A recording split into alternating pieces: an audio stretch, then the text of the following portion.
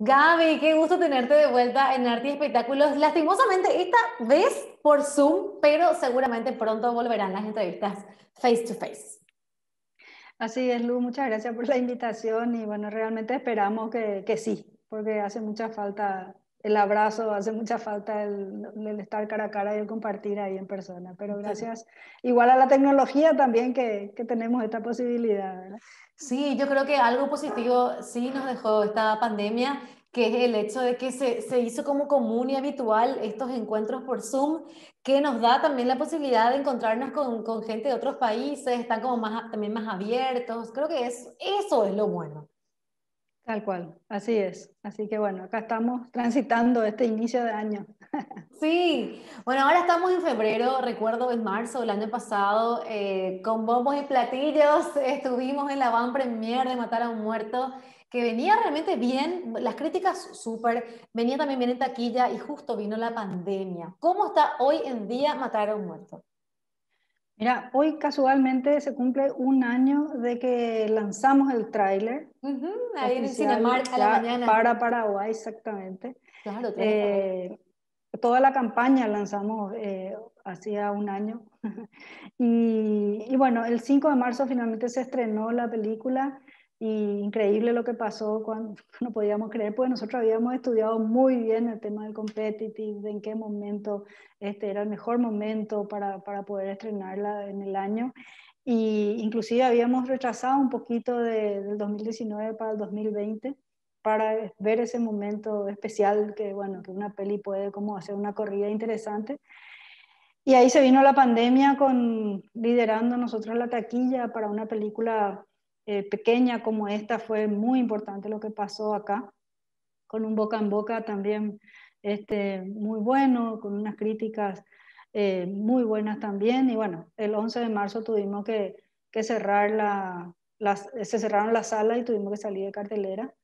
Este, estábamos mil arribas de Unidos, que era la apuesta de Disney en ese momento, la película animada. Eh, Así que bueno, este, pero bueno, todo pasa por algo, Lu, también. Así que vamos a, vamos a seguir. Lo importante es seguir caminando, seguir este, proyectando. La película eh, Filmagic ya nos confirmó que vamos a reestrenar apenas la situación sanitaria mejore. Qué lindo, vamos a volver sí, entonces sí. a estar ahí, vamos a volver a hacer como una van premier de vuelta. Un reestreno para festejar sí. el reencuentro. Y bueno, ahora nos seleccionaron para un festival en Ibiza, Uh -huh. eh, también en el cine latino de Chicago. Eh, Eso es en abril, poco... ¿verdad? El festival de la, del cine suele ser en abril de Chicago. Sí.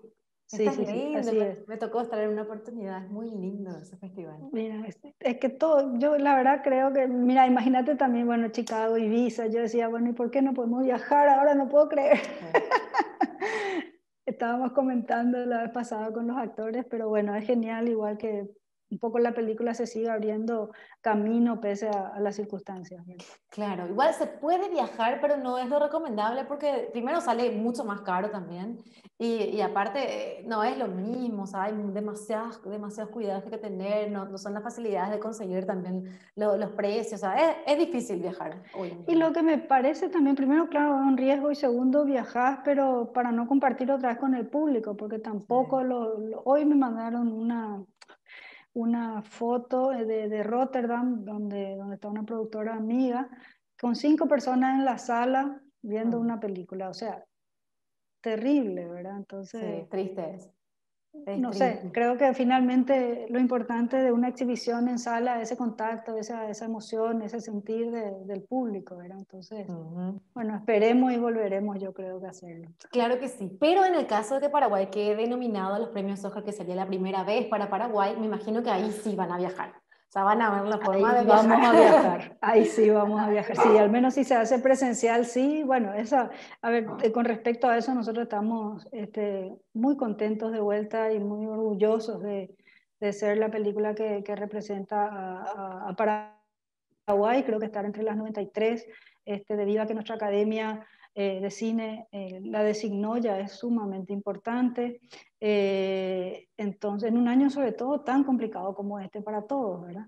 Qué que Paraguay esté en una lista de 93 me parece que, que, es muy importante y que pone el cine paraguayo finalmente eh, de vuelta. Mira, hay una película de Paraguay, ¿verdad? Sí, que lastimosamente... es, la cuarta, es la cuarta vez que, que, Paraguay envía una representante, ¿verdad? Sí, empezó con el tiempo nublado, que fue el primer año que tuvimos academia. Después también estuvo Los Buscadores.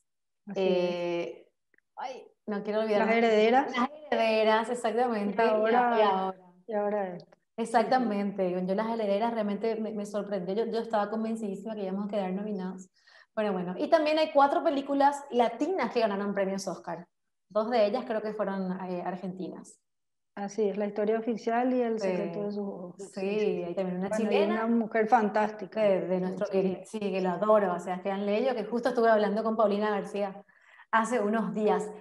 Y, justamente en, esto de, la mujer en el audiovisual iberoamericano que, que, te tengo ahora en este segmento, que tanto me gusta, me apasiona, ¿cómo, cómo ves vos hoy en día el cine iberoamericano, Gaby?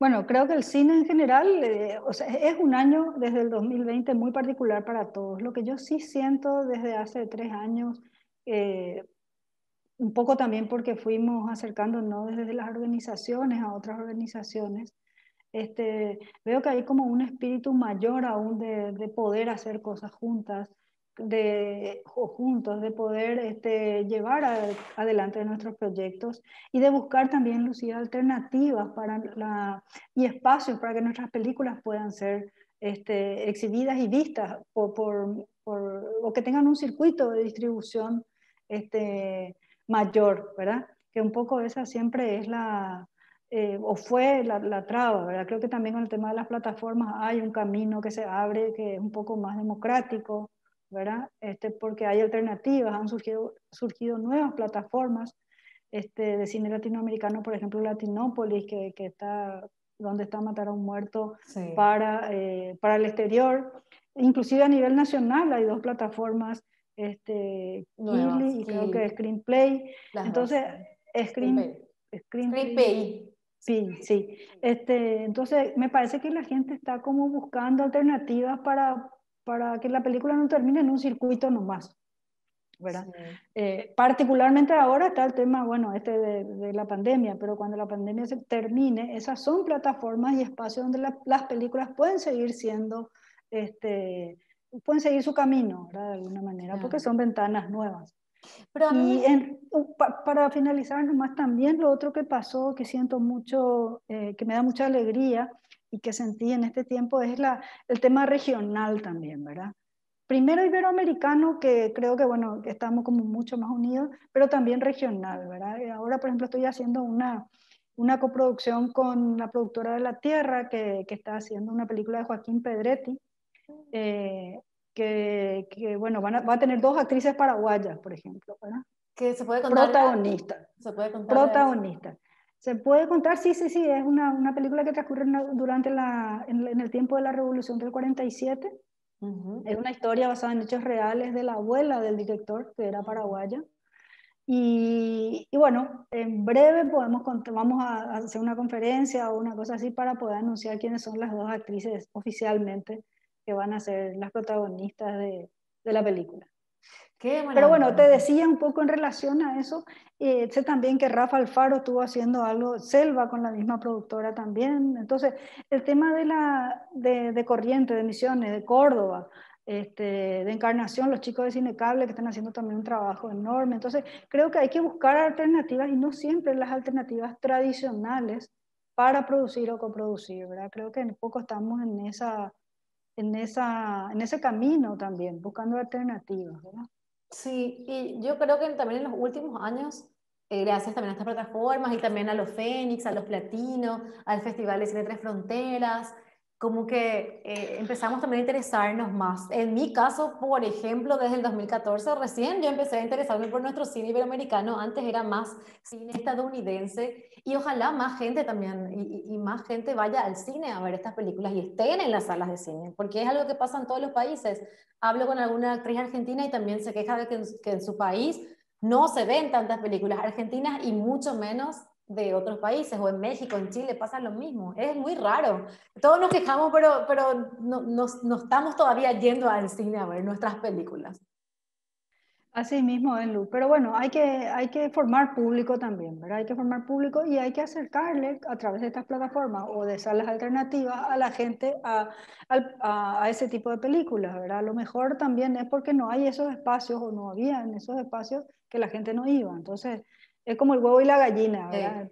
Y nosotros productores, este, directores, que tenemos que tratar de, de generar esos espacios para, para dar oportunidad a que, bueno, más público pueda acceder a ese tipo de películas.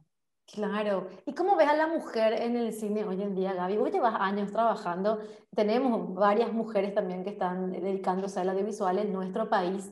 ¿Vos sentís realmente estas diferencias? ¿Te, te costó empezar? ¿Te, ¿Te, fue difícil por el hecho de ser mujer? ¿O, ¿O te fue complicado como cualquier persona le podría hacer empezar a emprender en algo como, como es el arte? Y vos sabés que yo fui, siempre fui muy cara dura. ¿verdad? Entonces, este, siempre fue muy, muy, así, me iba como un caballito, este, yo Qué quería lindo. hacer y hacía, ¿verdad? Sin pensar tanto, ¿verdad? Este, debo, decir, debo decir dos cosas. Una, que al principio y en muchos años me costó mucho menos, que no es que me costó, siempre, creo que siempre, eh, o sea, fui, fui, a ver, esto que te decía, quiero hacer y hago, ¿verdad? Eh, pero eh, vi el tema este, eh, últimamente vi más este, sentí algunas cositas de diferencias más que años anteriores, por ejemplo. Pero en Paraguay debo decir que, eh, no, no, no, específicamente en el cine, ¿verdad? pero sí en otros en otro espacios, que, que, que, me, que, fui más consciente, puede ser también eso, ¿verdad? que fui como más consciente de que, de que había eso, ¿verdad? porque me fijé. Pero también debo decir que en Paraguay las mujeres son en el audiovisual y en el cine sobre todo las que llevan muchos roles muy importantes, ¿verdad? O sea, las mujeres en Paraguay, hay equipos técnicos de mujeres que con las que eh, han trabajado de igual a igual con, en, en, la mayoría, ¿verdad? Con los varones, ¿verdad? O sea, y creo que hay un respeto muy importante, mutuo, de, de, tanto de mujeres como de varones, y que que en el cine mismo no, no vi yo, en el set yo nunca vi un problema, ni una diferencia, ni al contrario, era mucha colaboración y, y, y, hay mujeres maravillosas, así como hay hombres maravillosos y sumamente profesionales todos que, que llevan adelante los proyectos, también nos acompañan, ¿verdad? Y finalmente hacen. Claro. Son los que, ese gran equipo técnico de gente profesional que está trabajando acá. Claro. Gaby, ¿cuál fue la primera película en, en la cual estuviste trabajando? ¿Te acordás? Hamaca Paraguaya. Hamaca Paraguaya. O sea, ya en la primera un éxito. Mira, yo estaba trabajando en un canal en ese momento, era gerente de producción del canal y este se acercó Paz Encina a, a invitarme a, a, a, ser parte del equipo técnico de la película. Yo no tenía idea, pero lo que sí tenía desde, el, desde que tenía, no sé, estaba en el colegio y Juan Carlos Maneglia era el, el director del Cine Club. Desde esa época, te estoy hablando de cuando yo tenía, no sé, 12, 11 años, una cosa así, en el colegio, veíamos películas y tal. Desde esa época yo quería hacer cine. no sabía cómo, creo que ni Juanca en ese momento también, todos soñábamos con hacer cine, pero Juanca nos mostraba películas, nos enseñaba los planos, inclusive experimentábamos ahí un poco. Desde esa época yo quería hacer cine, ¿verdad? Entonces, en el 2005 pase acerca y me dice, mira, tengo una, una película que quiero hacer y va a ser en 35 milímetros y no sé qué, así yo, wow, decir, renuncié al día siguiente a mi trabajo. Ah, sí, luego, o sea, no, iba a ser imposible Renuncio. que sigas trabajando allí y llevando también adelante. Y, el... Mira, yo, yo pedí, la verdad que dije, esta, esto es lo que yo quiero hacer. Wow. Entonces renuncié al día siguiente, solamente tenía tres meses de trabajo más con la película, ¿verdad? Claro ahí en la familia, bueno, mi papá siempre como que muy apoyándome, ¿verdad? Pero fue ahí, era, ¿cómo vas, a ¿cómo vas a dejar otra gente, ¿verdad? ¿Cómo vas a dejar seis años de trabajo, no sé qué, fijo? Y bueno, pero es lo que quiero hacer, así que renuncié, este, bueno, la película después entró al Festival de Cannes. San Sebastián. Sí, y a partir de ahí nunca, nunca, o sea, todos los años hice algo, ¿verdad? En cine, aprendiendo, ¿verdad? O sea, después, gracias a eso, Pude trabajar en las acacias con Pablo Giorgelli. Sí, qué lindo. Trabajé con Lucía Puenzo en, en, en, El Niño Pez, con Lucrecia Martel en Muta, que es un, un, perdón, un cortometraje que se vino a hacer acá. Bueno, con Marcelo hicimos este, Cara y Norte, que, que hicimos este, en el 2008, eh, que se estrenó en Berlín en el 2009. Y bueno, después con Pablito Lamar, que estuvimos haciendo La Última Tierra, también que se estrenó en Rotterdam, ganó un premio también en Rotterdam. Y, bueno, después Matar a un Muerto, que era como la película que, en la cual yo dije, bueno, ya es hora de que agarre algo mayoritariamente desde mi productora y creo que un poco mi, mi, filosofía era, bueno, hay que aprender y bueno, una vez que tengamos un poco de, de, que sepamos algo, podemos encarar algo desde otro, desde otra, desde otro rol, ¿verdad? Entonces, en el 2015 este, se acercó Hugo, me comentó sobre la película y bueno, a partir de ahí empezamos a trabajar y no paramos hasta, hasta ahora. O sea, que desde, el 2006, bueno, antes, porque la película se estrenó en el 2006 en acá Paraguay, desde el 2005, digamos, que ya estás totalmente abocada al, a lo que es el, el, cine. Sí, este, bueno, es que no sé si es que estoy totalmente abocada porque yo hago otras cosas, no sé si todavía se puede vivir el cine. Bueno, también me olvidé de citar, tuve la oportunidad de trabajar obviamente en Los Buscadores, también con Juan Caetana, lo cual fue este, una experiencia impresionante este, también ahí con Richard y el equipo, ¿verdad? Y este, lo que sí te puedo decir es que no dejé de hacer cine eh, también, ¿verdad? Este, en todos estos años, ¿verdad? O sea, ojalá que pronto podamos como dedicarnos solamente al cine. Ojalá. Eh, ojalá que pronto a través del Instituto de Cine, a través de, de, algunas formalizaciones que todavía faltan, pero bueno, que se está trabajando, que las organizaciones están trabajando para eso también con, con el Estado, también con la Secretaría Nacional de Cultura. Entonces, creo que también lo que pasó con, con, con todo esto es que, que, se vio la importancia del trabajar unidos. Entonces, este, estamos un poco ahí en, en, Paraguay en este momento, ¿verdad? Sí, sí. Yo, yo creo que sí, que, que hay, y hay también una importancia muy grande al cine, que bueno, eh, cine hay hace años, pero Siete Cajas también como que abrió un panorama nuevo, después vino Las Herederas con, con, con este premio de la Berlinale, entonces creo que todo eso también está ayudando para que la gente que normalmente no va, no, no ve películas paraguayas esté más interesada, eh, Eso también ayuda un poquito a llegar a otra, a, la masa y no solamente al nicho que, que amamos el cine, ¿verdad?